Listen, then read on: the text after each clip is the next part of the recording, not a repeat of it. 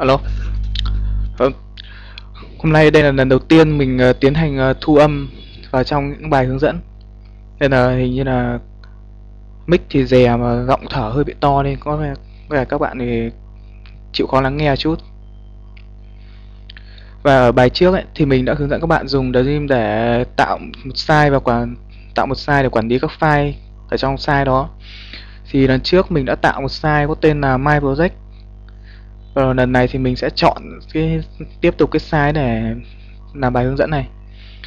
Ờ, bài hôm nay ấy, thì mình sẽ hướng dẫn các bạn là tạo file PHP kết nối tới database này và hiển thị dữ liệu truy vấn dữ liệu ở trong database đấy và để hiển thị lên đấy.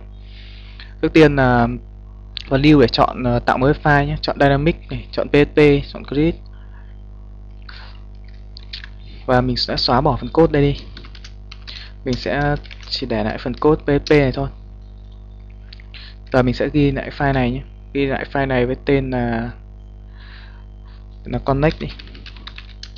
Connect db và đây là file vừa được tạo sẽ được hiển thị sang bên này.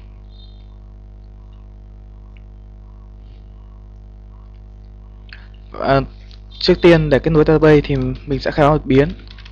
Mình khai báo một biến connect và câu lệnh uh, kết nối database này. Ờ, các bạn lưu ý ở đây ấy, thì mình có thể dùng được câu lệnh như thế này. Connect cũng được. Và các thông số cần điền mình sẽ điền ở bên trong này.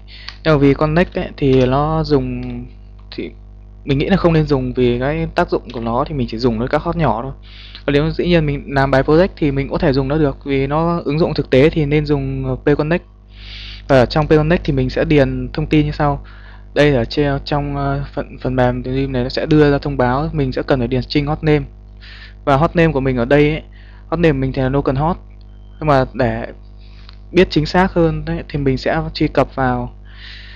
Đầu tiên là tới cái địa chỉ mà cài đặt ờ, uh, PHP MyAdmin của mình để chạy cái web server này.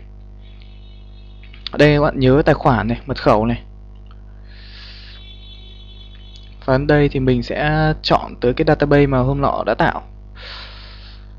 Database và đây là server. Server mình sẽ là localhost mình sẽ điền localhost vào đây. Tiếp theo sẽ là string username. Username của mình như vừa rồi ấy, thì là mình là rút này và mật khẩu này.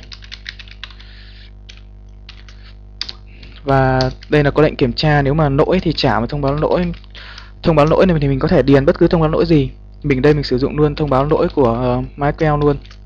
Để cho mình biết chính xác được cái lỗi để mình còn xử lý. Và tiếp biến tiếp theo biến câu lệnh tiếp theo này là câu lệnh chọn database. Mình vẫn sử dụng lại biến connect bên trên. Connect db và tên database của mình uh, muốn chọn mình muốn uh, làm mẫu đây là tên là my database đây. Và mình sẽ lại viết my database ở đây. Và lại câu lệnh kiểm tra lỗi. Nếu lỗi thì trả về thông báo lỗi này.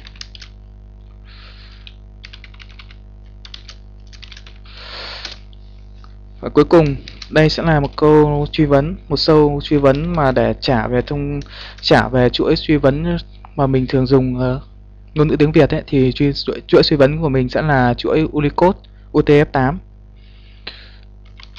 đây là câu lệnh đó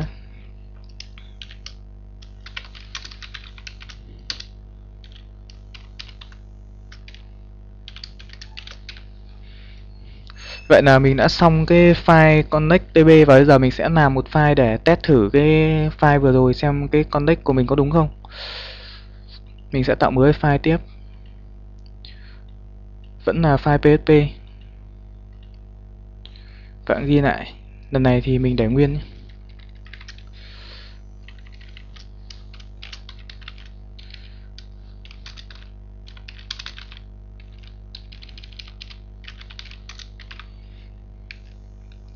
Mình sẽ ghi nó lại. Mình ghi lại với file index đi. Đây file index mình vừa tạo đây. Và giờ để cho để lấy được uh, mình không đỡ phải cốt lại cái phần này đấy. Mình muốn sử dụng luôn ấy, thì mình sẽ kết nối từ cái file con từ file index này tới file connect. Và lại một câu lệnh PHP này. Và đây là câu lệnh kết nối. Có lệnh kết nối thì có hai câu lệnh chính nhưng mà chia làm thành các dạng. Đây mình dùng include. Và include này ấy, thì đây là các câu lệnh của nó nhé.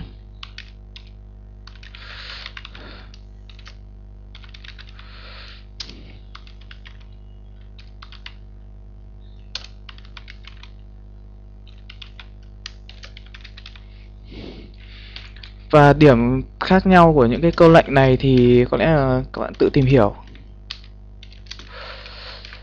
Ở đây mình sẽ sử dụng include one này là với tác dụng ấy là để nếu mà mình uh, trong cái quá trình truy vấn của mình mà có tới hai có hai lần cái câu chuyên lệnh include connect file connect db này vào ấy thì nó chỉ dùng một câu lệnh thôi đó là câu lệnh đầu tiên.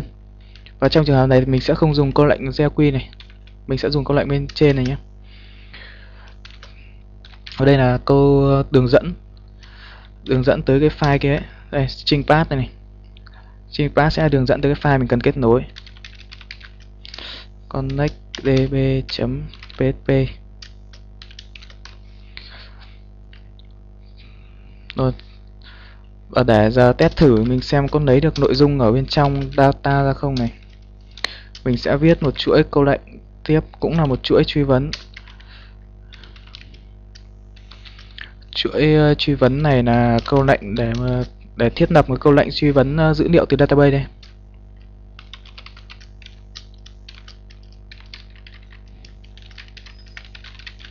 Select sound form. Đây và tiếp theo tên bảng ấy, câu lệnh select này thì học ở trong ờ, SQL Server rồi.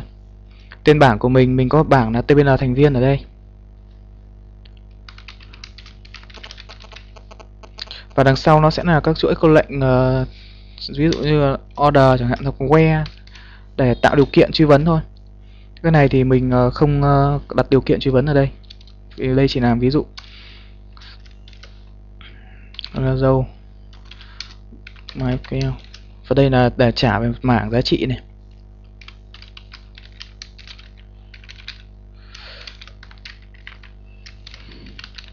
SQL chính là câu lệnh truy vấn ở bên trên. Bây giờ mình sẽ in ra in ra mình có thể dùng câu lệnh print hoặc là dùng echo.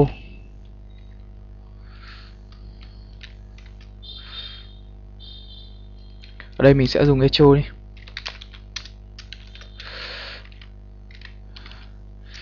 Echo mình sẽ lấy lại cái biến ở bên trên ấy. Biến bên trên thì đây, trong này sẽ là cái dữ liệu ở trong cái cột. Đây mình có ba cột này ba cột ở trong bảng thành viên này tvid tvname tvpath mình sẽ lấy tvname nhé.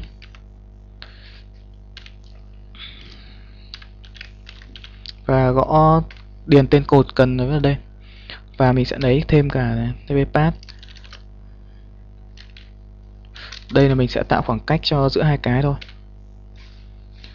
Và để lấy tên cột uh, của bảng path ấy, thì mình sẽ cũng vẫn điền như cột tên thôi nhưng mà mình sẽ lại phải thay bằng cái tv bằng tv path giờ mình sẽ chạy thử F12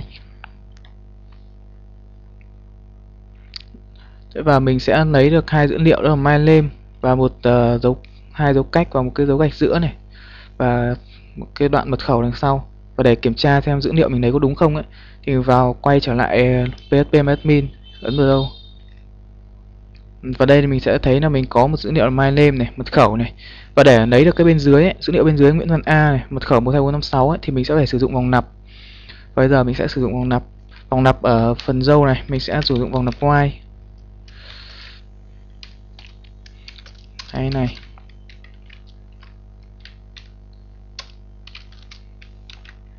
Và rồi chạy lại.